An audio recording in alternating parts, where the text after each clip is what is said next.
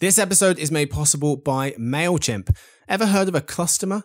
It's the result of marketers grouping customers with different behaviors into one big mess. But with MailChimp, you can use real time behavior data to personalize emails for every customer based on their browsing and buying behavior, turning your customers into customers.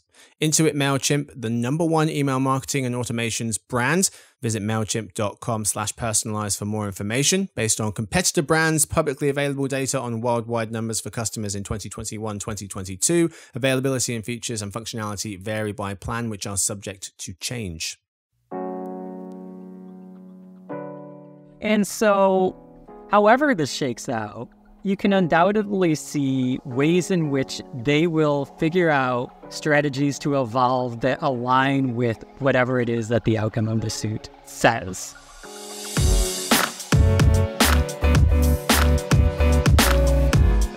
Hey gang, it's Monday, October 9th. Zak, Jacob, and listeners, welcome to the Behind the Numbers Daily and eMarketer podcast made possible by Intuit MailChimp. I'm Marcus. Today I'm joined by two folks. Let's meet them. We start with one of our analysts on our connectivity and tech briefing based out of California. It's Jacob Bourne.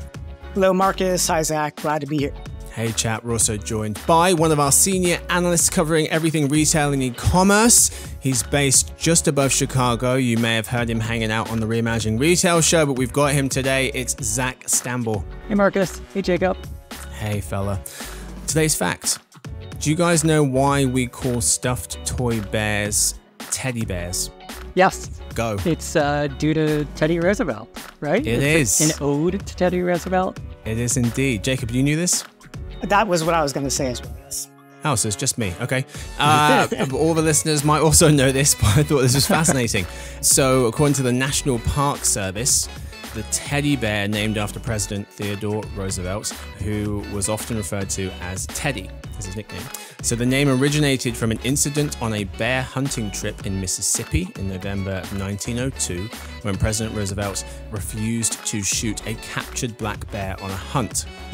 Clifford Berryman, a political cartoonist, light-heartedly satirized the president's refusal to shoot the bear in a Washington Post cartoon. And then two folks, Morris and Rose Michtom, uh, a couple who owned a Brooklyn candy shop and made stuffed animals, they saw the cartoon and decided to create a stuffed toy bear and dedicate it to the president who refused to shoot a bear. Uh, and they called it Teddy's Bear. And after receiving Roosevelt's permission to use his name, Michtom mass produced the uh, toy bears, which were so popular, uh, they soon founded the Ideal Toy Company. Interesting. How- Why did he not hunt it or shoot it? Because he was an avid hunter. yes, I think they. I think the bear was like pretty. because it was trapped, right? Because it was already trapped. Oh, it was so it's like, Oh. yeah. Yeah. Okay, fair um, enough. So he said. Yeah. He said no. Um, rather ironically, he uh, he hated the nickname Teddy. Yeah. Yeah.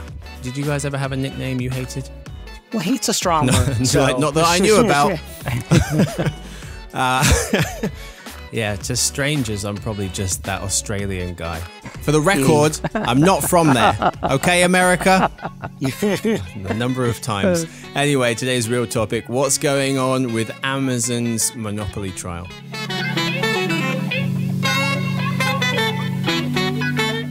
In today's episode, first in the lead, we'll cover Amazon's monopoly trial. Then, for another news, we'll discuss Peloton and Lululemon's new deal and the latest on social media burnout. We start, of course, with the lead. We're talking about Amazon and their monopoly trial. US regulators have sued Amazon, alleging that the internet giant is illegally maintaining monopoly power, notes James Clayton and Tom Espiner of the BBC. The Federal Trade Commission, FTC, and 17 states have said Amazon uses a set of interlocking, anti competitive, and unfair strategies to push up prices and stifle competition. Amazon says the lawsuit is wrong on the facts and law and that they look forward to making that case in court. The case also relates to another FTC suit filed in June, suggesting that Amazon used deceptive practices to drive consumers to enroll in its Prime membership program. So that's also going on, but we're focusing more on this new case that has been filed by the FTC. Zak, I'll start with you. You wrote a piece about this recently. Initial reactions to the case. Yeah, so it's not surprising that this suit came about. It was rather expected. FTC Chair Lina Khan came to prominence as a law student when she wrote a law review article that argued Amazon's anti competitive and should be broken up. So it isn't unexpected, and it's one piece of a broader puzzle of big tech antitrust reform mm-hmm. lawsuits that include Google and Meta. Jacob, what came to mind for you? Yeah, I mean, I find this to be a particularly polarizing case. I mean, you have these different factions. You know, Zak brought Lina Khan, then there's Elizabeth Warren, who really seeing this as a big opportunity, long time in the coming. But then there's others who think that the FTC has no case at all here, and that really ultimately the consumers are going to lose if there's an unfavorable outcome for Amazon, and basically resulting in you know a, the loss of those cheaper prices which which they want. Yeah. And then of course you have the tech industry, which is kind of biting their nails. Obviously, this is going to take a long time to play out. But this could certainly, it's a giant case and could have major implications for the tech industry and also, you know, large businesses in the United States across the board. Mm-hmm. And then, of course, in the mix of all that, there are some very frustrated consumers, you know, who aren't in fact happy with Amazon's practices, despite the fact that they still shop there. So there's yeah. a lot going on. There is a lot. We're going to dig into both of the prosecution's case against Amazon and also Amazon's defense. But before I get to that, my initial reaction was it seems, on the face of it, it seems like a pretty open and shut case. Like if someone said to you, Do you think Amazon's a monopoly? You wouldn't blame people for going, yeah, it's pretty much the only place I buy things online. Right. Not to mention all the other things, parts of my life that they are involved in. And there was an article from Scott Rosenberg, end of 2020, Scott Rosenberg of Axios, and he wrote that the pentopoly's power, so he's talking about the, the major five tech companies, the pentopoly's power and reach are unparalleled, saying their products and services reach into every corner of our lives. Google controls access to information. Facebook, now Meta, controls access to people. Amazon controls access to goods. Apple leads the high end device market. They have half of the smartphones in America. Microsoft still controls the Office desktop. Uh, he's saying the Pentopoly's combined market cap is now roughly seven trillion dollars. It was at the time, uh, nearly one third of total value of the S and P 500. The S and P has gone up 14 percent since then, but it's still the big five still account for about a quarter of the value. So on the face of it, it's if anyone said, "Oh, is Google a monopoly?" They have their own trial going on right now, antitrust trial. It, you probably say, "Yeah, probably." Where else do I go? Amazon too. You could argue Meta and others, but there's more to it than that. You have to prove that they are in a court of law, and so we're going to go through uh, some of the details of the case. We're going to start with the case against Amazon. Mm-hmm. Um, and so, on the face of it, when it comes to US anti competition legislation, prosecutors have to show that a company acted in a way that hurts consumers financially. But that's a very simplistic way of looking at antitrust law. Jacob, what do you think are some of the main arguments against Amazon at this point coming from the FTC? Yeah, well, I think first it's important to note that, of course, monopolies aren't inherently illegal in the United States, which is why we have them. Yes. Like why we have companies like Amazon. So the FTC really needs to show that there's harm done by Amazon's monopoly and that it got there through you know illegal practices. And one of the ways pra- practices, illegal so monopolistic practices, mm-hmm. exactly. Mm-hmm. And so one of the ways that, that the FTC is trying to argue this is saying that well, Amazon has been bullying uh, third party sellers on its platform for some time, forcing them to do things like buy pricey ads in order to you know maintain visibility of their products. The FTC also says that Amazon has been punishing sellers who might you know, list the same products at a lower price on a competitor's platform by downgrading their, their visibility. The FTC is also saying that Amazon has been using a secret algorithm to illegally manipulate prices on the platform. So there's about 20 different charges, and, and those are some of the, I guess, the probably the ones that are kind of the hottest topics. Mm-hmm. There's one other area that I think is really interesting in front of mine, particularly for me, but I think to the case itself, and that's Prime. Prime is such a focal point of the Amazon ecosystem, and Prime has such a hold on the American consumer. Our forecast has 71.3% of US households holding a Prime membership. And it's really incumbent upon sellers to use fulfillment by Amazon to access those consumers to get that badge that what they're selling is Prime eligible because if you have Prime membership, you're probably not buying something that isn't Prime eligible. And so that goes to what you were saying just a few moments ago, Jacob, of Amazon pushing sellers toward right. using its services. Mm-hmm. Yep. Mm-hmm. So we've got just to list those again. So we've got anti-discounting measures, um, supposedly from Amazon, punishing merchants for offering lower prices elsewhere. We've also got sellers on Amazon compelled to a certain extent to use their logistics service. If you want your goods to appear in Amazon Prime, which one of the huge perks of that is, is faster shipping times that Zak was just mentioning, uh, you've also got this concern over Amazon operating a third party marketplace whilst operating its own first party retail business. Yeah. And the suit suggesting that third party marketplace pushes sellers to use and pay for the advertising to reach consumers and access its yeah. shipping and delivery network. And the backdrop of all that is that, you know, the FTC says sellers don't really have an option. You have to sell on Amazon if you're going to have any traction in the marketplace. And so that's also an important piece of this. Yeah. I mean, uh, we're going to give the kind of counter to this in a second, but how much truth is there to this stuff? Like, Amazon just going to say, oh, well, you can go elsewhere. You don't have to advertise if you don't want to. Like, I mean, Zak, how important has advertising on Amazon become to Amazon sellers at this point? It's incredibly important to sellers. Basically, if whatever you search for on Amazon, you're going to be bombarded with ads, whether you realize it or not. So if you want to reach consumers, you kind of have to pay that toll of the ad. Mm-hmm. Yeah. It seems as though this pay to play, right? And they they've got a nickname for it. They're calling it uh, part of this the Amazon tax. The FTC is saying that many sellers pay nearly fifty percent of their revenue to Amazon. They're calling it an Amazon tax when all their fees are combined, and saying that these costs could be passed on to the consumer if folks weren't have to pay so much to play, as Jacob said. They're also the suit alleging Amazon degrades the customer experience by replacing organic search results with paid ads. So that part I agree with to some extent because obviously what you see when you search is an ad for nearly all the results. like you kind of have to scroll really far. Mm-hmm. That said, what Amazon has been very effective with is still delivering relevancy.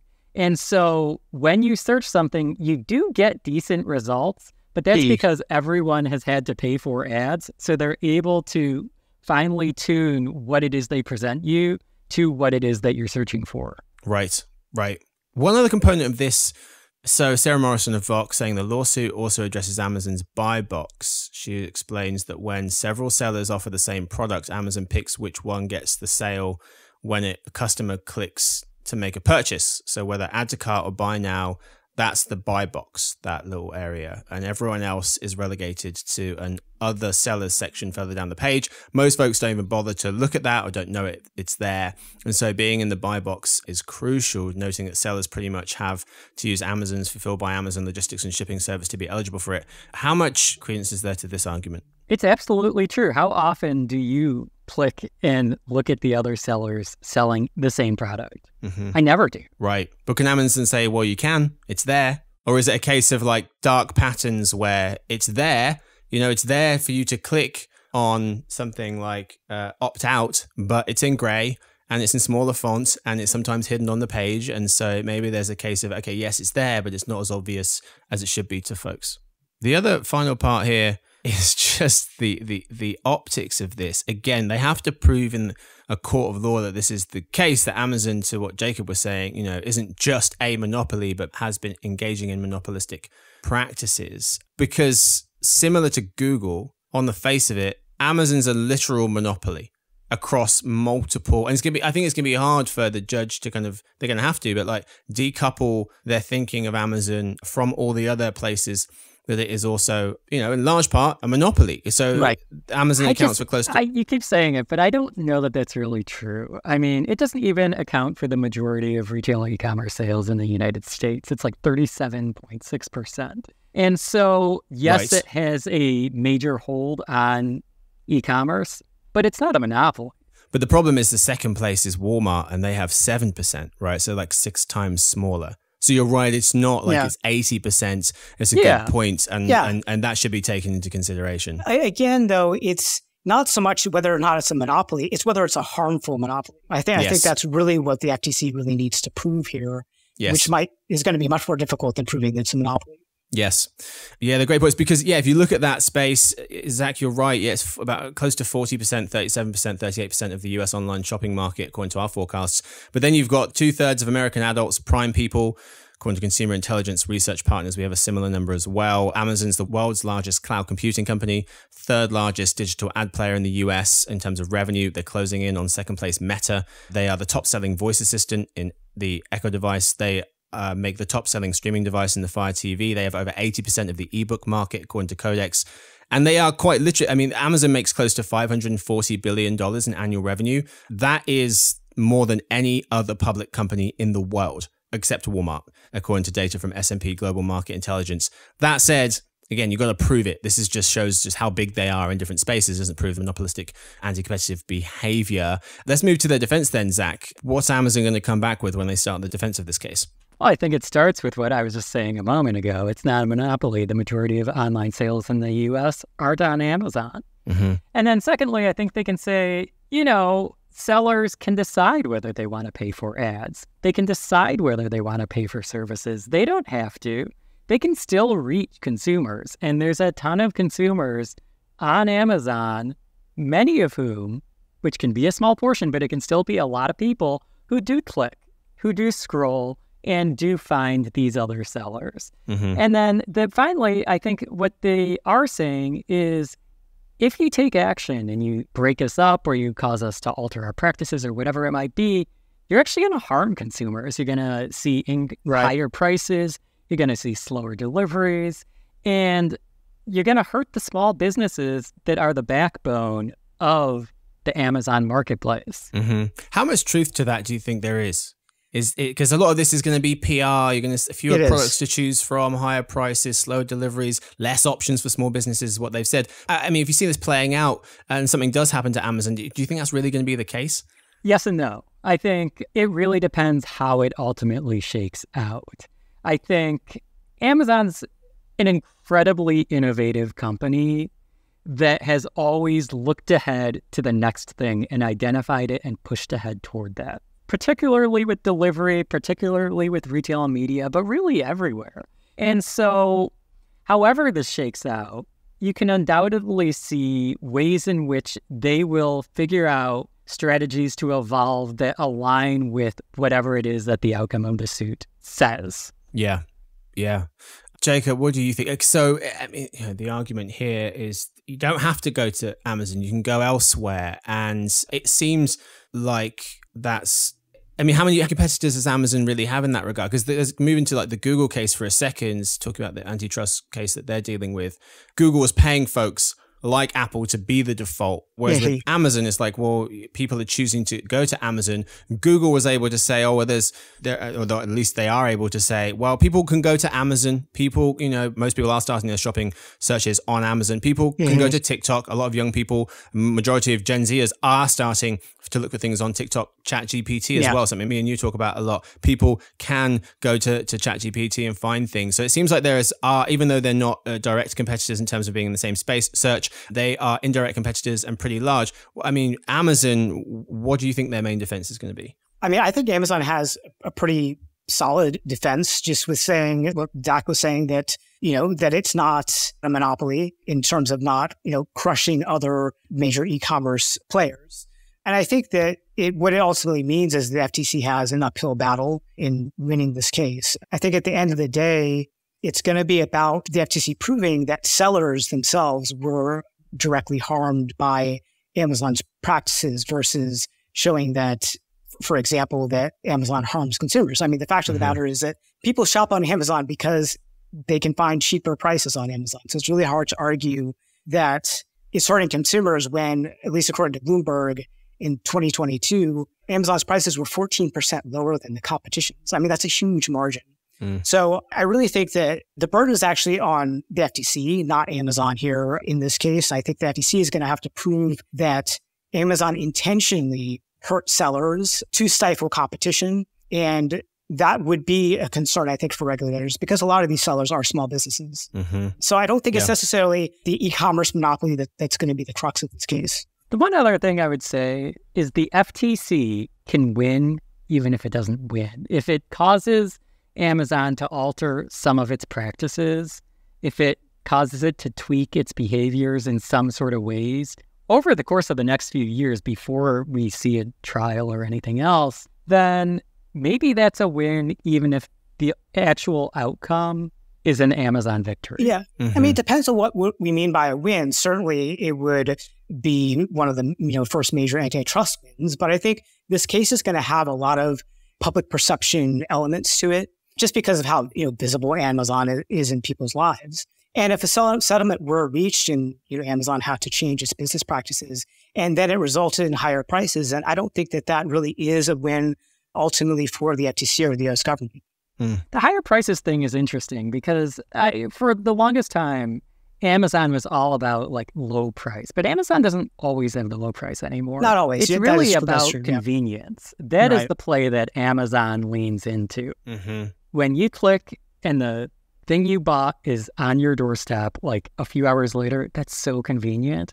And that's really why and how Amazon keeps people clicking and buying. Yeah, yeah, I wonder how much of it is the, uh, ingrained in people's subconscious because they, there was the place they went for lower prices. Now it's more for convenience, but in the back of their head, they're also thinking, "Well, I'm here for convenience, but I'm also probably getting some yeah. of the lower prices because I used to." I mean, I, I think the prices it really varies. I mean, some prices have gone up with inflation, but for other items, I think that they have continued to maintain yeah. kind of the cheapest on the market in terms yeah. of prices. All right, so most likely outcomes, and we covered a couple. Scott Rosenberg of Axios saying it's going to be up to the federal judge in Washington state because Amazon was born in Seattle to decide whether the case and evidence is strong enough to rule that Amazon should be charged. Could be A, liable for damages, fines, B, structural remedies, uh, think limits on its conduct or even some kind of breakup, or C, nothing. You know, there's been yeah. a lot of expectation since FTC boss Lina Khan took the job. Zak explained why her background as a, a Yale law student and, and, publishing that paper in 2017, arguing American antitrust laws had failed to stop Amazon from amassing power over its customers, competitors, and suppliers. She already had two losses in February. FTC lost an attempt to stop Meta from buying VR company Within for $400 million. And then July, FTC lost to attempt to block Microsoft from completing its deal to buy maker of Call of Duty Activision Blizzard for close to 70 billion dollars. The case is expected to play out over several years. So don't stay tuned. You can tune out and come back to us in, yeah. uh, at the next World Cup. That's all we've got time for for the lead. We'll skip the halftime report. We've talked about it enough. Time for the second half of the show today in other news. Peloton and Lululemon strike a deal. And where are we at with social media burnout? Story one Zak, you just wrote about Peloton and Lululemon striking a deal that ends the company's connected fitness rivalry. You explained that as part of the deal, Lululemon will stop selling its Studio Mirror home fitness device this year and will bring Peloton's content to its exercise app. And Peloton, who tried to build their own apparel collection, will make Lululemon its primary athletic apparel partner. But to you, Zak, what's the most important sentence in your article and why? I think this deal is just the latest and highest profile sign that the connected fitness bubble has burst.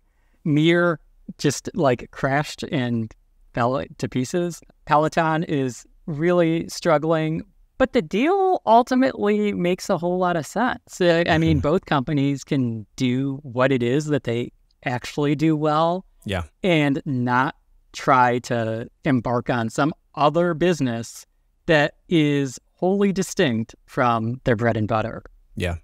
Yeah, you mentioned the bubble bursting and you're pointing out some of the numbers we have for the number of American connected fitness users and how it's already peaked, reached 41 million folks who were connected fitness users in the US last year. This year, 1 million fewer people will call themselves connected fitness users, and that decline will continue, reaching 39 million in just two years' time, according to our forecast team. Story two Jacob, one of your most recent articles reads Social media users report burnout from viral content culture.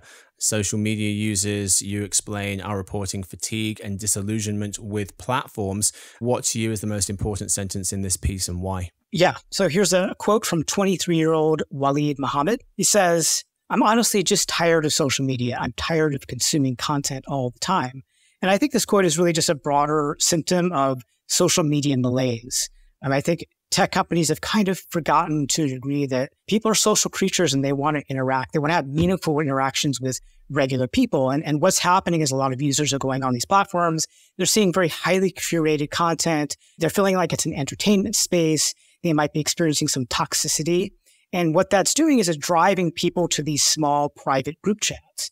Now, the problem with that is that small private group chats don't have the kind of ad revenue potential that the main feed of the platform has. So I think, you know, for, for platforms to kind of get things back on track, to attract users to the public sphere again, I think it really means it's going to come down to them giving users more control over the experiences that they have in the platforms. I really liked your quote. Tech companies are out of touch with what users want, more of the social aspect and less of the media, uh, just about uh, with recommendation algorithms having eroded uh, their original purpose.